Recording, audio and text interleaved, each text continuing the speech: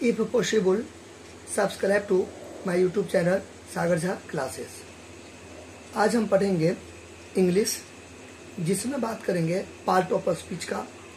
Parts of speech यानी कि शब्द भेद, आठ प्रकार के होते हैं, उसी के अंतर्गत में आते हैं प्रिपोजिशन उसी का एग्ज़ाम्पल है बिटवीन और एमाउंट दोनों का मतलब होता है के बीच में, यानी कि बीच में, ठीक? तो अब बात यह आती है कि जब दोनों का मतलब होता है बीच में तो दोनों में अंतर क्या फ़र्क कहाँ है?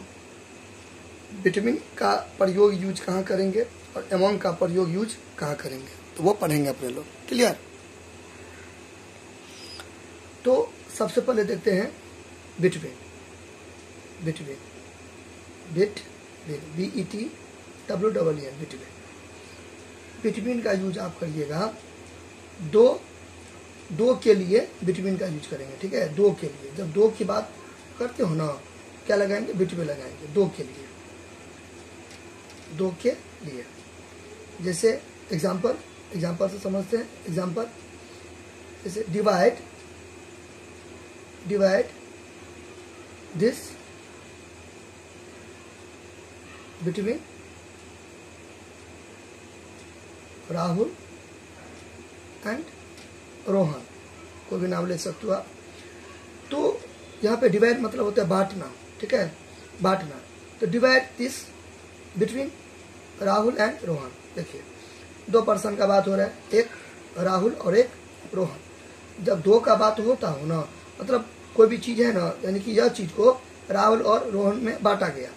चाहे वो समोसा हो सकता है, मिठाई हो सकता है खाने पीने का, यानी कि कोई भी चीज़ हो सकता है, जो दो पर्सन के बीच में बांटा गया।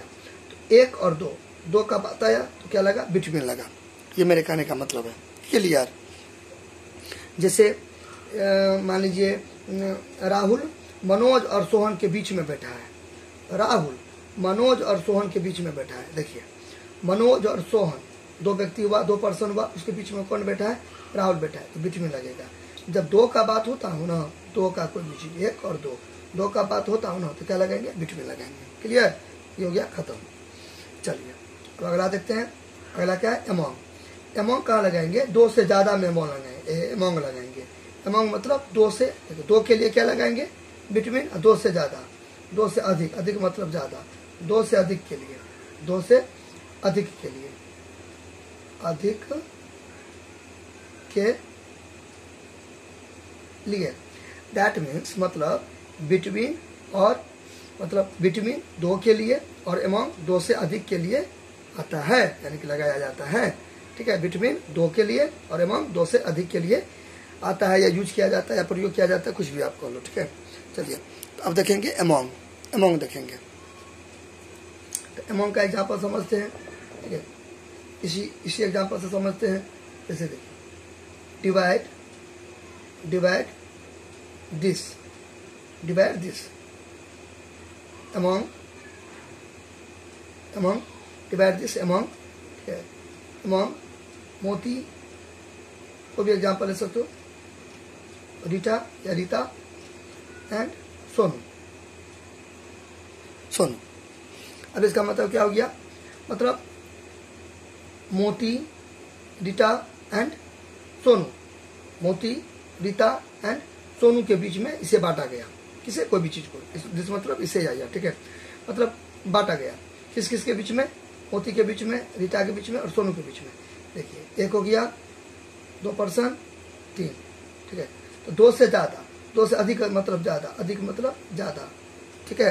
तो यानी कि जब दो से ज़्यादा चीज़ों को बात करेंगे ना कोई भी चीज़ को दो या दो से ज़्यादा मतलब सॉरी दो नहीं दो तो बिटवीन हो जाएगा। कोई भी चीज़ को दो से ज़्यादा यानी कि कम से कम तीन होना चाहिए उससे ज़्यादा कितना भी होगा। एक दो तीन है ना दो रहता तब तो एमोंग लग, मतलब बिट में लग जाता। तो दो से ज़्यादा यानी कि तीन कम से कम। कम से कम कितना? तीन। कम से कम कितना?